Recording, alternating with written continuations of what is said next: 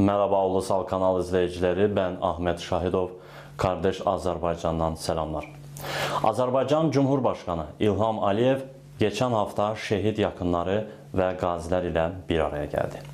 Görüşmədə Doğu Zangezur ekonomik bölgəsindən söz açan Azərbaycan Cumhurbaşqanı Başkomutan İlham Əliyev şunları söylədi. Ordumuzla ilgili yeni planlar hayata geçiriyoruz. Ancak biz ihtilafın çözüldüğünü düşünüyoruz. Toprak bütünlüğümüzü sağladık. Biz zafer kazandık. Bugün gündemimizde başka bir konu yok. Kendi sınırlarımızdayız ve Ermənistan-Azərbaycan sınırını kontrol altına aldık. İmar çalışmalarına başladık. Eğer birisi ihtilafın çözülmediğini söylüyorsa gelsin de çözümü nasıl gördüğünü ve neyin çözülmediğini bizlere anlatsın.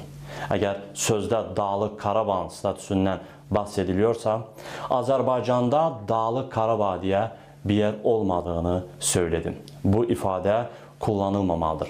Dağlıq Qarabağ deyə bir şey yok. Qarabağ var. İlham Aliyev dedi.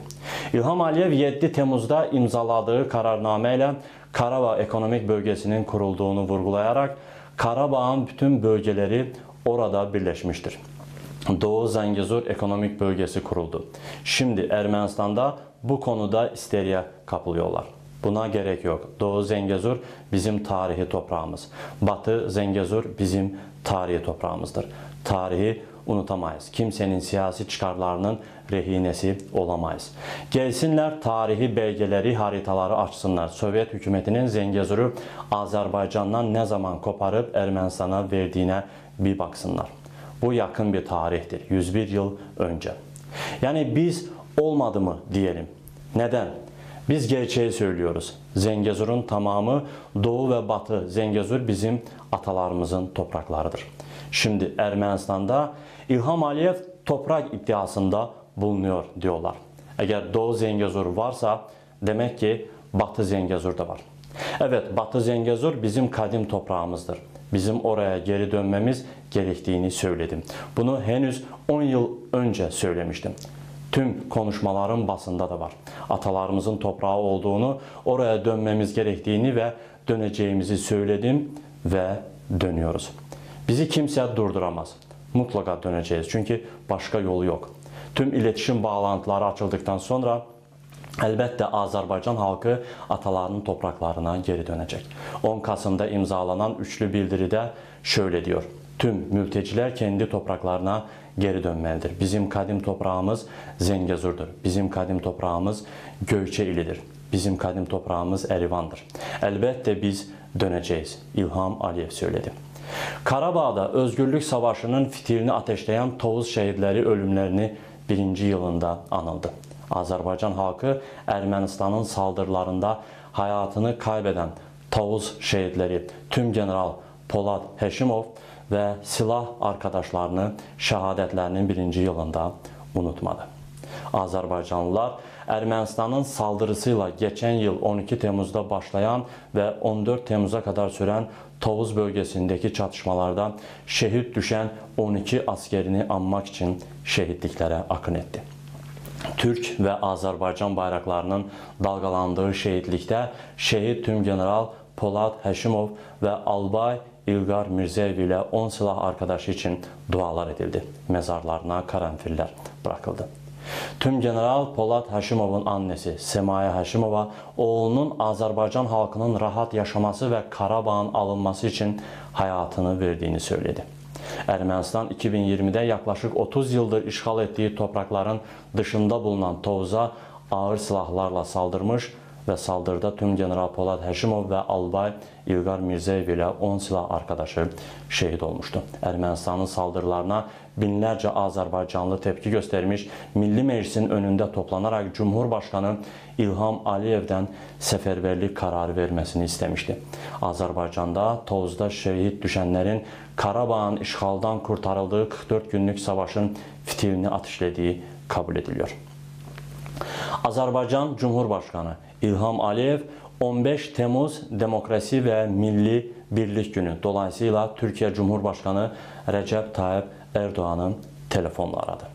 Cumhurbaşkanlığı İletişim Başkanlığından yapılan açıklamaya göre İlham Aliyev görüşmede Türkiye halkının Cumhurbaşkanı Recep Tayyip Erdoğan'ın liderliğinde güçlü bir kenetlenmeyle ortaya koyduğu büyük direniş sayesinde Fethullahçı terör örgütünün, FETÖ'nün 15 Temmuz darbe girişimlerinin bertaraf edildiğini belirterek darbecilere karşı kahramanca mücadele ederken şehit olan vatandaşlara rahmet diledi. Azerbaycan Cumhurbaşkanı İlham Aliyev, Azerbaycan ile Türkiye'nin iyi günde ve kötü günde dostluğun ve kardeşliğin en güzel örneğini sergilemeye devam edeceğini dile getirdi.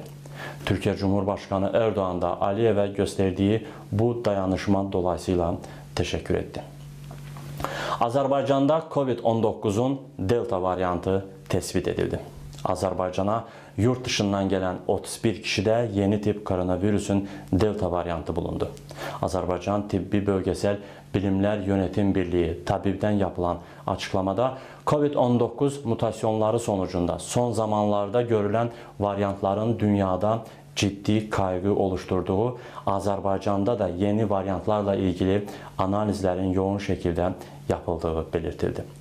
Yapılan kontroller sonucunda yurt dışından Azerbaycan'a gelen 31 kişide Covid-19'un Delta varyantının tespit edildiği bildirilen açıklamada hızla yayılan Delta varyantına karşı en etkili mücadele yönteminin aşı olduğu kaydedildi. Tabip hayatın normale dönmesi için herkesi maske, mesafe ve hijyen kurallarına uymaya ve aşı yaptırmaya çağırdı. Ermənistandan arka arkaya provokasyonlar devam etməkdə. Ateşkesi bir kez daha ihlal etdilər. Geçen hafta Ermənistan Silahlı Kuvvetləri Kəlbəcərdəki yukarı ayrım köyü yaxınlığındakı Azərbaycan ordusuna ait mevzilərə ateş açdı. Azərbaycan ordusu karşılık verdi. Azərbaycan Savunma Bakanlığından yapılan açıklamada Azərbaycan ordusunun e, misilləmə ateşi açdığı duyuruldu və olayda Azərbaycan ordusu personelindən ölən ya da yaralanan olmadı. Ermənistan son günlərdə sıx-sıx iki ölkə arasındakı ateşkəsi ihlal edərək Azərbaycan ordusuna aid mevzilərə ateş açıyor. Bir başqa olayda isə Naxçıvanda bir Azərbaycan əskəri ermənilərin açdığı ateş sonucu yaralanmışdı. Ermənistanın son günlərdə devamlı olaraq Azərbaycan mevzilərinə ateş açması üzərinə Azərbaycanın Dışişləri Bakanlığından bir açıqlama yayınlandı. Ermənistanın son zamanlarda davamlı olaraq Azərbaycan mevzilərinə ateş açaraq bölgədəki kırılgan barışı bozmaya yönelik girişimlərini şiddətlə kınıyoruz. Azərbaycan bölgədə barış, işbirliği və sürdürüləbilir kalkınmaya sağlamaya yönelik adımlar atarkən Ermənistanın bu şəkildə yıkıcı bir yaklaşım sergiləməsi kabul ediləməz. Bölgədəki durumun bu şəkildə gelişməsindən tamamen Ermənistan sorumludur. Kurban Bayramı geliyor. Bu bayram dünyadaki Müslümanlar için en kutsal ve aziz bir bayramdır. Dünyanın dört bir yanında milyonlarca insan bu günü kutluyor. Kurbanlar kesiliyor, dualar ediliyor, bayram namazı kılınıyor. Azerbaycan'da bayramlarda insanlar genellikle memleketlerine gider. Sevdikleriyle bayramlaşır, kurban keser ve dua eder. Dün cuma namazını kılmak için ben de memleketim Qah bölgesine gittim. Yerli köyümüz Zerne'deki müminlerle cuma namazını kılmak için köy camisine gittim. Gördüklerim beni bir kez daha şok etti. Yıllardır kapalı olan köy camisinin kapısında bu kez de kilit vardı. Cami yıkılıyordu. Köy camisi son 15 yıldır bu vaziyette. Sadece Zerne köyünde değil, Gah bölgesindeki diğer köylerde de Allah'ın evi yıkılıyor, tahrip ediliyor ve havaya uçuruluyor. Güllük, Marsan, Qazmalar, Əmircan, İlisu və digər köylərdə camilər çöküyor və səbəb Qax ilçəsinin valisi.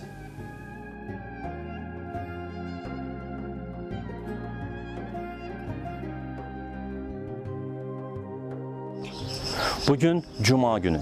Yine cemaatle namaz kılmak için Gah'taki bu camiye geldim. Ve şimdi Gah bölgesinin Zerne köyünde, köy camisinin önündeyim. Bu sahneyi gördükçe kalbim ağrıyor. O yüzden ulusal kanal izleyicilerinin de bilmesini istiyorum.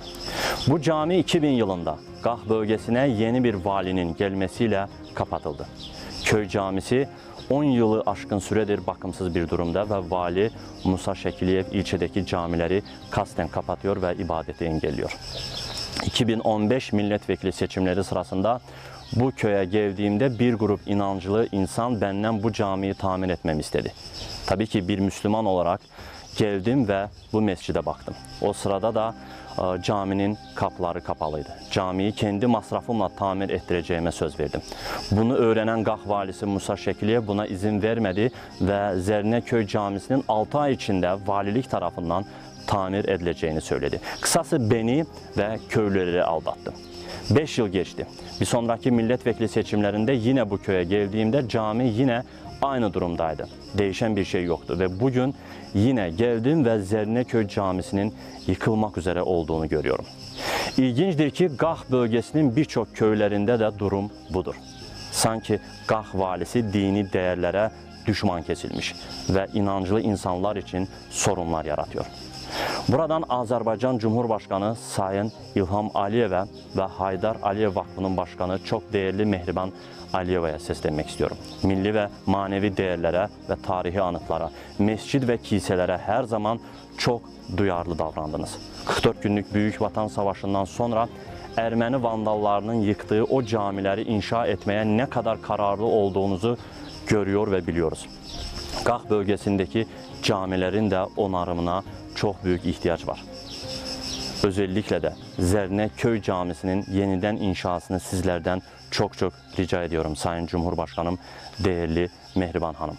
Çünki Qax valisi Musa Şəkiliyev milli və manevi dəyərlərə, dini abidələrə düşmandır. Dövlətimizi və Cümhurbaşqanımızı aldatmaqla məşğuldur bugün. İnşallah zalimlərin zülmü sona erər, və Qax bölgəsi möminləri də yeni və modern camilərdə ibadət edərlər. Bizlər buna inanıyoruz. Allahımıza, dövlətimizə və Sayın Cümhurbaşqanımıza inanıyoruz. Qaxda camilərin yıkımı sistemli bir şəkildə yapılıyor. Sanki dinsiz, imansız bir vali bölgədə yıllardır bilərək Allaha savaş açmış gibidir. Qax valisi bugünə qədər heç camiyə gitməmiş, inancı insanlarla oturub Çay belə içməmiş onlarla ilgilənməmişdir. Keçən hafta mən də qaxda idim və bir sabah telefon səsinə uyandım. Qaratala köyündən mümin insanlar arayaraq yardım istedi və sorunlarının ulusal kanalda ələ alınmasını rica etdilər.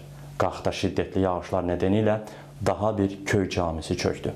Yıllardır bakımsız qalan Qaratala köy camisi bu kez tamamən yıkıldı. Həmən oraya getdim və gördüklərim beni tekrar şok etdi. Allah'ın evi bu köyde de havaya uçuruldu. Söz bulmakta zorlanıyorum. Zalimin zulmü karşısında sessiz kalmak da istemiyorum. Bu sebeple bu görüntüleri sizlerle paylaşıyorum bugün. Müslüman bir ülkede dinsiz, imansız bir vali camileri yıkıyor.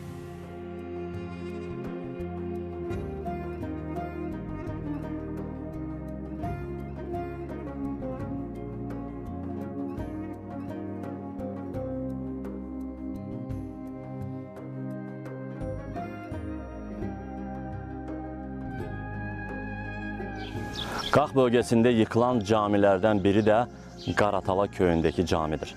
Son yıllarda kullanılmayan ve tamamen dağıtılmış bu cami dün şiddetli yağışlar nedeniyle tamamen yıkıldı. Zor da olsa Gah'ta daha bir köyde Allah evinin çöktüğünü söylemeliyim.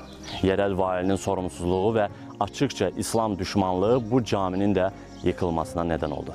Birkaç yıl önce bu camiyi ziyaret etmiştim. O sırada cami harap haldeydi. Cami depo olarak kullanılıyordu. Bugün ise cami tamamen yıkıldı. Köydeki yüzlerce inançlı Müslümanın yürekleri yıkıldı bu camiyle birlikte. Konuşacak kelime bulamıyorum aslında. Müslüman bir ülke olan Azerbaycan'da camiler yıkılıyor ve kimsenin umurunda değil. Gah valisi tüm camileri yıkıyor. İslam'a savaş açıyor ama kimse bunu görmek istemiyor. Ama Allah görüyor. Allah bu zulmü görüyor ve bir gün Allah'ın gazabı çok şiddetli olacak diye düşünüyorum. Çok fazla konuşmak istemiyorum. Kurban Bayramı'nda Türkiye'deki Müslüman kardeşlerimizin bayramını bozmak istemem açığı. Ama bilmenizi isterim ki Azerbaycan'da 12 yıldır Allah'a, İslam'a ve halkına olan nefretini açıkça dile getiren ve başta müminler olmak üzere insanlara zulmetmeye devam eden bir vali var. Musa Şekilyev. Ama unutmayalım ki zalimin zulmü varsa mazlumun da Allah var.